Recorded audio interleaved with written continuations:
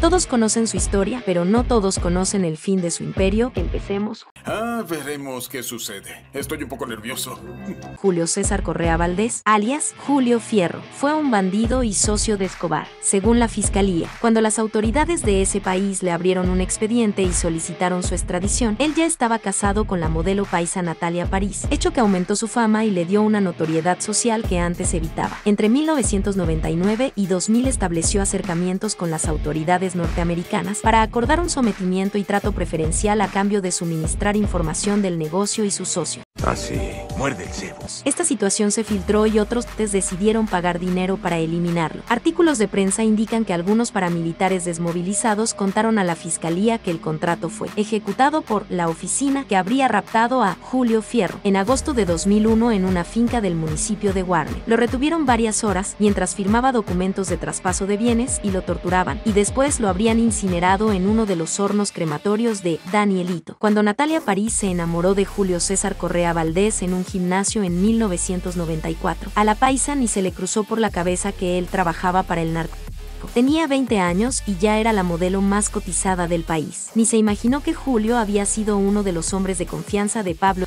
Luego de la muerte del patrón se dedicó a hacer negocios por su cuenta y logró una fortuna nada despreciable. Tenía dinero suficiente para pedirle a Natalia que dejara el modelaje. Cuando ella se enteró de la verdad ya era demasiado tarde. Estaba tan enamorada que abandonó el país donde era una diva para irse a vivir con Julio a Miami, donde las agencias la rechazaban por sus 1,55 de estatura. Sin embargo, nada de esto era impedimento para que la modelo fuera feliz. La cumbre de su alegría fue el 14 de diciembre de 2000, cuando nació Mariana Correa París, su única hija hasta el momento. La vida de Natalia París por aquel año se remitía a la de cualquier ama de casa. Hacía mercado, iba al gimnasio, cuidaba a su hija y andaba por la calle sin gota de maquillaje. Sin embargo, la felicidad no duró mucho. Julio tuvo la idea de regresar a Colombia y la decisión sería mortal. Ocho meses después de haber vuelto fue asesinado por orden directa de Carlos Castaño. Mientras estuvo en Estados Unidos llegó a acuerdos con las autoridades de ese país para entregar a paramilitares y someterse a la justicia. Julio fue retenido en Warren, de ahí fue llevado por helicóptero a Córdoba, donde Carlos Castaño le hizo firmar escrituras para quitarle propiedades antes de regresarlo a Medellín en el mismo helicóptero y matarlo. Su cuerpo fue cremado en uno de los hornos donde los paramilitares incineraban entre 10 y 20 víctimas por semana en aquella época. Natalia estaba por vivir la peor época de su vida. Perdió contactos, no le salía trabajo. La prensa armó un escándalo cuando se conoció la noticia. Su naciente empresa fue bloqueada por estar en la lista Clinton y su visa a Estados Unidos fue cancelada. En el año 2004, por recomendación de su madre que es abogada, dio una entrevista a Semana. Lo hizo pensando que lo mejor era no evadir más a la prensa y el resultado de aquella entrevista ha sido una de las piezas más amarillistas del periodismo colombiano. Entre otras, le preguntaron si era prepago, si hacía visitas conyugales en cárceles de Colombia y si volvería a enamorarse de un narcotraficante. La historia de lo que vivió Natalia con Julio Fierro es digna de una serie de televisión. En efecto, así sucedió con el cártel de los sapos, donde el episodio de Natalia París inspiró una de las líneas dramáticas de la serie. La actriz Natalie Umaña fue la encargada de dar vida a la modelo en el año 2009, cuando Caracol transmitió el cartel de los sapos. A la modelo no le gustó lo que vio en pantalla. No veo una novela donde se tergiverse la verdad y muestre una versión tan distorsionada de mi vida. Que me llamen a mí para representarme a mí misma, para eso me estoy preparando en el campo de la actuación. Dijo entonces, pero acá no termina esto. Después de 13 años de la desaparición de Julio César Correa Valdés, alias Julio Fierro, quien fuera esposo de la modelo Natalia París, la fiscalía solicitó a un juez la extinción de dominio para 130 inmuebles y dos establecimientos de comercio de su propiedad, según la investigación que adelanta un fiscal de la Unidad Nacional para la Extinción de Dominio y contra el lavado de activos. La indagación sobre las probidades avaluadas en 10.000 millones de pesos se dio por un informe realizado en el 2002 por desparecido Departamento Administrativo de Seguridad, DAS. En dicho documento, la entidad dio cuenta sobre la presunta relación que mantenía Correa con el jefe del cártel de Medellín, Pablo Escobar. Durante la indagación, el organismo de seguridad tuvo en cuenta las versiones de varios testigos, los cuales aseguraron que Correa era la misma persona a quien se le identificaba con el alias de Julio Fierro. Desde ese entonces, al narcotraficante se le conoció como socio de Escobar, por lo que se ordenó una investigación por parte de un fiscal de Medellín. Los bienes solicitados para la extinción de Dominos son una fábrica de blindajes de vehículos, de nombre Sociedad FIBA Antioquia Alda, 18 apartamentos y garajes en Medellín, 102 elotes en Venecia, Antioquia y un hotel en la misma ciudad. Correa fue considerado una de las 114 personas que negociaron para el año 2000 con la justicia de Estados Unidos para obtener su libertad a cambio de prestar su colaboración con las agencias antidrogas, suministrando rutas de embarque, localización de cargamentos de coca y cuentas bancarias fruto del negocio del narcotráfico. Ese pacto fue avalado por la Fiscalía General de Estados Unidos sin el conocimiento de las autoridades colombianas. El hombre que fue puente en esa negociación en la que intervinieron la CIA, la DEA, aduanas y la Dirección de Impuestos de ese país, IRS, fue el colombiano Berek Vega, quien terminó acusado en una corte federal de Miami por obstrucción a la justicia y lavado de dinero. Un año después de ese escándalo, Vega demostró ante la corte de Miami que todo el trabajo que realizó fue autorizado por dependencias del gobierno de Estados Unidos. El testimonio, lo que Vega contó, dejó al descubierto la maraña que se tejió para permitir que los narcotraficantes colombianos lograran evitar que la justicia de Estados Unidos continuara persiguiéndolos a cambio de su colaboración. Uno de ellos fue Julio Correa Valdés, quien se comprometió ante un juez en la Corte de Miami en septiembre de 1997 a cooperar con las autoridades de ese país a cambio de inmunidad. Poco o nada se sabía de sus actividades y solo cuando desapareció se supo que mantenía una relación con la modelo Natalia París. No obstante, Semana conversó entonces con antiguos socios suyos, quienes revelaron sus andanzas. Él fue uno de los principales ayudantes de Pablo Escobar y estaba encargado de conseguir armas para la organización. Contó quien fuera un miembro del extinto cártel de Medellín. En esa época lo conocíamos como Julio Fierro. Según estas fuentes, la carrera de Correa en el mundo del narcotráfico comenzó a los 18 años cuando fue arrestado en Los Ángeles por posesión de 3 kilos de cocaína. Logró pagar la fianza y voló a Colombia, donde continuó con el negocio. En 1996 fue descubierto en Miami un cargamento de 6 toneladas de cocaína, camufladas en tanques que contenían cloro. Según las autoridades estadounidenses, esa droga había sido enviada por Correa Valdés y le abrieron un proceso por narcotráfico que lo podía enviar a la cárcel por 30 años. Correa inició entonces sus contactos con agentes del FBI en Costa Rica e intentó, sin éxito, negociar con la justicia estadounidense. Un año más tarde se le atravesó en el camino Berek Vega y a partir de entonces comenzó negociaciones con los agentes federales. Esas reuniones tuvieron lugar en Medellín, Panamá y por último en Miami, señaló Vega a Semana. Seis meses después Correa comenzó su nueva vida de colaborador de las agencias antidrogas de Estados Unidos. Por su intermedio, cerca de 35 narcotraficantes decidieron arreglar su situación en Estados Unidos. Esos nombres los conocía muy bien la policía colombiana. Eran la cabeza de la Operación Milenio. Seguimos sus rastros durante más de un año y una semana antes de realizar el operativo para capturarlos. Desaparecieron del país. Solo meses después supimos que habían negociado sus problemas en Estados Unidos. Señaló uno de los investigadores de la Dijín que participaron en la